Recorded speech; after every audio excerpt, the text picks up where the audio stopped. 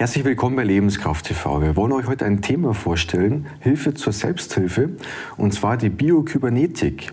Dazu bei uns im Studio zu Gast der Eduard. Eduard, Hallo. erzähl uns ein bisschen was darüber, unseren Zuschauern. Was ist das genau? Was kann man sich darunter vorstellen? Also vielen Dank zuerst, äh, lieber Oliver, dass ich da sein darf und Gerne. das kurz äh, zeigen darf und erklären darf. Äh, Biokybernetik, also die Kybernetik ist, ein, ist eigentlich ein technischer Begriff, der der die Regelsysteme äh, von Geräten, von Maschinen und auch von Lebewesen bezeichnet, äh, dann ist es eben die Biokybernetik. Mhm. Äh, Regelsysteme darunter kann man sich vorstellen, zum Beispiel die, die Medizin schaut sich das Organ an, die betrachtet den, den Ist-Zustand dessen, was man sehen kann. Ähm, und die Kybernetik ist die Steuerung, die Regelung, die Mechanik, die dahinter steckt, die diese Funktionen dann ermöglicht. Und ähm, das ist äh, eine Sache eher von Technikern. Nachdem das in der Medizin nicht Einzug ge gehalten hat, ist, äh, äh, haben sich Techniker damit beschäftigt. Die, äh, aber zuerst ist die Computertechnik auf diesen Zug natürlich aufgesprungen und hat mhm. da aus diesem Regelverhalten dann äh, Computer entwickelt. Mhm. Im Grunde ist dieses Wissen aber ursprünglich schon von Menschen hergeleitet worden oder von Lebewesen. Ähm, da gibt es den Norbert Wiener, einen Mathematiker aus den USA, äh, der das wissenschaftlich definiert hat, das erste Mal in den 50er Jahren. Mhm. Jetzt ist ja das Ganze eigentlich eine relativ einfache Methode, wo jeder erlernen kann. Ja, da kommen wir später nochmal drauf. Das zeigen ja. wir dann mal ganz kurz, wie das funktioniert, das Ganze. Und zwar ist es eine Methode, die ähm, jemand entwickelt hat. Du hast es praktisch dieses Wissen als Erbschaft bekommen, sage ich jetzt einfach mal. Ja. ja. Mhm. Und es ist relativ einfache, eine einfache Methode, was jeder selbst erlernen kann, mhm. bei sich, Familie und so weiter anwenden. Und zwar kann man damit, wie du mir das erklärt hast, den kompletten Körper regulieren auf eine ganz einfache Art und Weise. Das heißt, wenn ich jetzt halt irgendwelche Befindlichkeiten habe, die ich nicht so schön finde, dann kann jeder sich damit praktisch selber regenerieren, sage ich jetzt einfach mal. Kann man das so, so ausdrücken? Ja, wunderbar. Äh, die Methode wurde ursprünglich vom Dr. Ingenieur Jan Gerhard Smith, also von einem Techniker mhm. in 30-jähriger Forschungsarbeit entwickelt ja. und äh, bringt jetzt die Essenz dessen auf den Punkt. Mhm. Äh, und diese Essenz ist dann, bringt sehr große Vereinfachungen mit sich. Ähm, also erstens einmal darf man verstehen, dass dieses Regelverhalten in uns immer schon da war. Das ist nichts Neues. Ja? Äh, nur wir haben es noch nicht ganz so verstanden, dass man das auch beeinflussen kann. Mhm. Und zwar immer in die Richtung, dass die Automatismen des, des Menschen, des Lebewesens äh, praktisch ge, ge, genutzt werden. Mhm. Ja, und äh, das führt jetzt dazu, dass man äh, einen einfachen Ablauf nur zu lernen braucht und diesen anzuwenden. Und der Organismus erkennt das als eigene Sprache mhm. und re reagiert dann individuell. Deshalb können wir nicht voraussagen, was alles passiert. Ja. Es geht aber nach dem Grundsatz, dass es dem Gesunden gut tut. Mhm. Und was dem Gesunden gut tut, geht auch, tut auch den Kranken gut. Ja, das ist dann kein Unterschied. Der Körper macht einfach äh, sein Regelverhalten neu, er richtet sich neu aus, innerlich. Ich verstehe das auch als Körperpflege im Inneren. Wir haben jetzt erstmalig die Möglichkeit, nicht nur uns zu waschen und zu pflegen im, im Äußeren, sondern auch in unseren Funktionen eine, eine Wiederherstellung der na natürlichen Ordnung mhm. zu machen mit dieser Methode. Ja. Es kennt man ja das Ganze, es gibt da viele, viele Methoden. Eigentlich Akupunktur ist jedem bewusst. Ja. Dann gibt es ja diese, diese ganzen Klopftechniken, um, ja. Themen praktisch rauszubringen. Ja. Es gibt dann Hautstimulationstechniken, wo man dann auch verschiedene Phänomene damit erreicht. Mhm. Das, was du hast, ist ja nichts anderes wie ein Metallstift, ja? wo du dann praktisch auf einzelne Punkte drauf gehst und die irgendwie stimulierst. Ja, genau. Kannst du das mal uns zeigen, dass unsere Zuschauer sich was darunter vorstellen können, wie das funktioniert? Und zwar schaut es jetzt sehr einfach aus, es hat aber eine, eine lange Ent Entwicklungsgeschichte, ja. dieser Stift. Ja. Und zwar ähm, hat der Ingenieur Smith hat da ähm, zuerst ein, ein Gerät entwickelt, mit dem er sensationelle Erfolge gehabt hat. Er kommt ja aus Dresden mhm. und hat dort in der DDR damals das entwickelt. Und mit seinem Gerät ist das durch alle Zeitungen ge ge gegangen, was er ja für, für tolle Erfolge gehabt hat. Mhm. Und 1991 hat er entdeckt, dass man diesen Stromimpuls aus dem Gerät gar nicht braucht. Mhm. Also er hat seine ganzen Geräteentwicklungen dann eingestellt Er hat keine wirtschaftlichen Gedanken gehabt, er möchte das Optimum aus ja. dem System rausholen. Ja.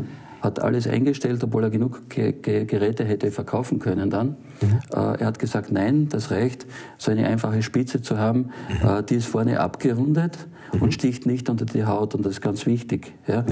Ähm, aus der ganzen Sache ist es, äh, aus der ganzen Sache war die Erkenntnis, dass die einfache Berührung ohne Druck auf der Hautoberfläche mhm.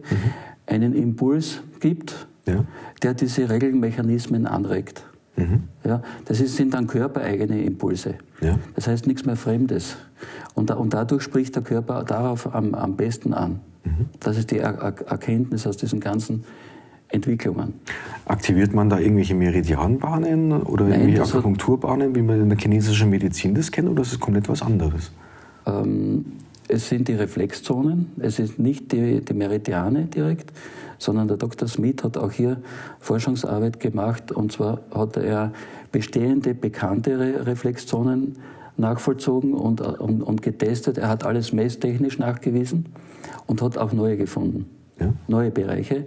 Und er hat natürlich einen großen Plan, einen sozusagen Masterplan, was will ich, mhm. ja, ähm, und hat festgestellt, naja, er hat Gesetzmäßigkeiten entdeckt, äh, zum Beispiel etwas, äh, bei jeder Störung des Wohlbefindens geht das immer einher mit einer Veränderung der Symmetrie des Körpers.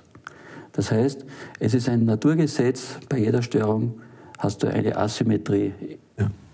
Und ähm, jetzt war es eine einfache logische er Erklärung, dass man eigentlich nur bei diesem intelligenten System, wie es ein Lebewesen ist, ja, man braucht nur diese Asymmetrie äh, jetzt neu ansteuern, mhm. dass sich die aufhebt und Sym Symmetrie wieder einkehrt. Ja.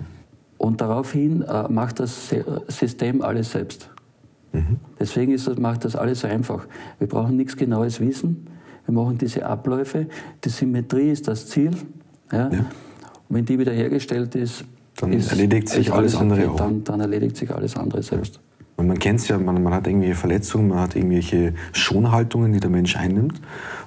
So eine Schonhaltungen kann man auch wieder damit unterstützen, dass sich das automatisch wieder reguliert.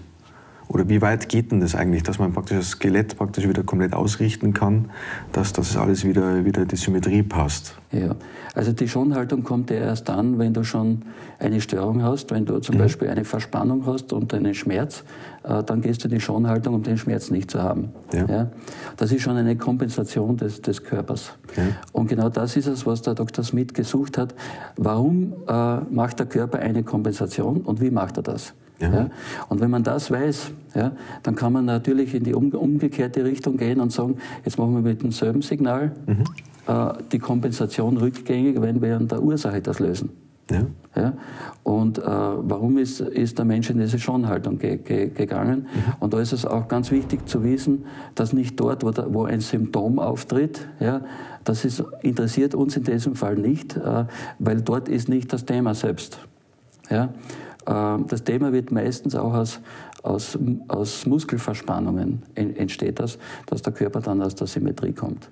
Und jetzt muss man eigentlich nur äh, durch Impulse und Signale ähm, praktisch diese Muskulatur wieder mit Energie sättigen. Ja. ja und äh, damit lassen sie diese Verspannungen los mhm. und alles richtet sich von selbst wieder ein. Okay. Ähm wenn man das macht, was, was sind deine Erlebnisse damit? Was hat sich da schon alles reguliert? Ja, also wenn ich das aufzählen würde, das, ja.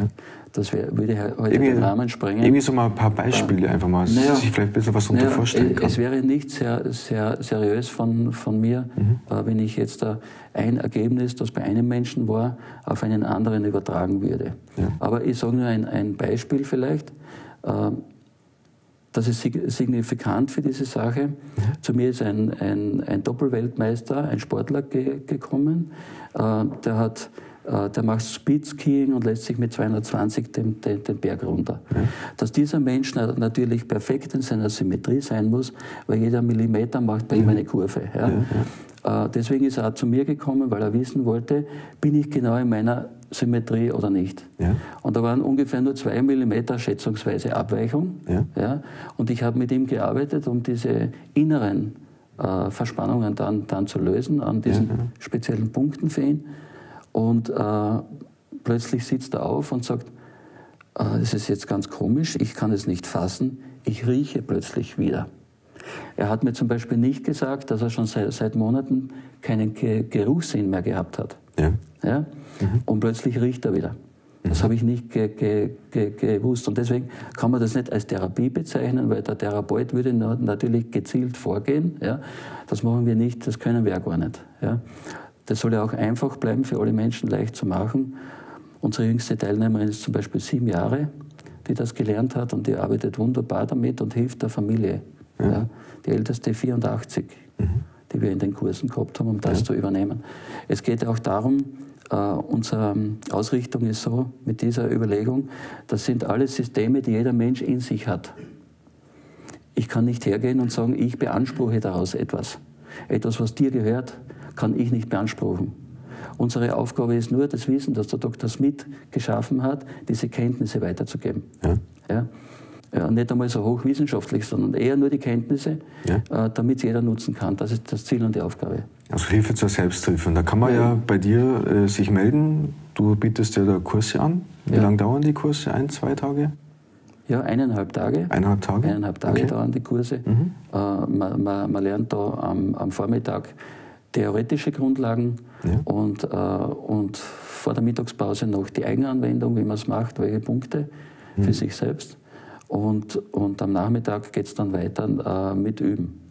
Der ganze Nachmittag wird geübt und am, am zweiten Tag äh, bis Mittag kommen dann noch ergänzende Dinge, äh, noch Hilfs Hilfestellungen, was ist, wenn das ist und so weiter hinzu. Mhm. Und somit haben wir eine abgerundete Sache mit eineinhalb Tagen, äh, wo wir eben dieses Wissen dann in der gemeinsamen Gruppe ausarbeiten. Ja.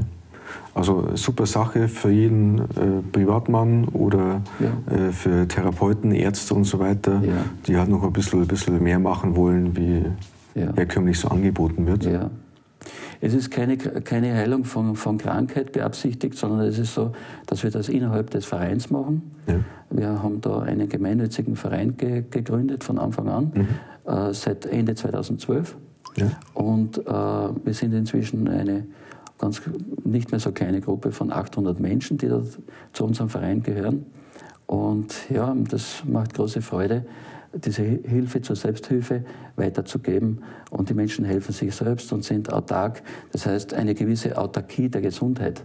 Das ist das Ziel. Ja. Und der, das, der große, die große Vision für die Zukunft ist es ja, ähm, wenn ich mir das so vorstelle, von jeher sind wir gewohnt, dass wir für den Glauben etwas tun. Und da gibt es die Kirche, äh, für die werden Spenden gesammelt.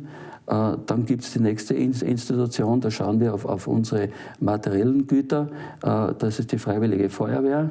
Da sind in dieser Dorfgemeinschaft Menschen, die finanzieren gemeinsam die Feuerwehr und bauen und, und setzen sich ein dafür, wenn es brennt, dass man schnell hilft. Und die große Vision, dass es ein Haus der Gesundheit in jeder Gemeinde gibt. Ich könnte mir da eine Jurte gut vorstellen, die vielleicht am, am Ortsanfang steht, auf der grünen Wiese. Und jeder, der dorthin kommt, weiß schon, ah, da ist das Haus der Gesundheit und die Menschen helfen sich dort selbst. Ja. Das wäre die Vision für die Zukunft. Mhm. Das möchten wir machen. Ja, Schönes Schlusswort, würde ich sagen. Hm? Eduard, vielen lieben Dank, dass du hier bei uns warst im Studio. An unsere Zuschauer, wenn ihr Interesse habt, einfach mal für sich selbst was zu machen, äh, dass man einfach Dinge, eigene Befindlichkeiten, sonstiges oder in der Familie einfach mal ein bisschen experimentieren, ausprobieren, wie verändert sich die ganze Symmetrie im Körper und was passiert dann, was verändert sich ja, von den eigentlichen Dingen, die man hat. Wenn ihr da Interesse habt, wie gesagt, es gibt Seminare vom Eduard, eineinhalb Tage könnt ihr das Ganze euch anschauen. Und ich bedanke mich bei euch fürs Zusehen und bis zum nächsten Mal. Danke.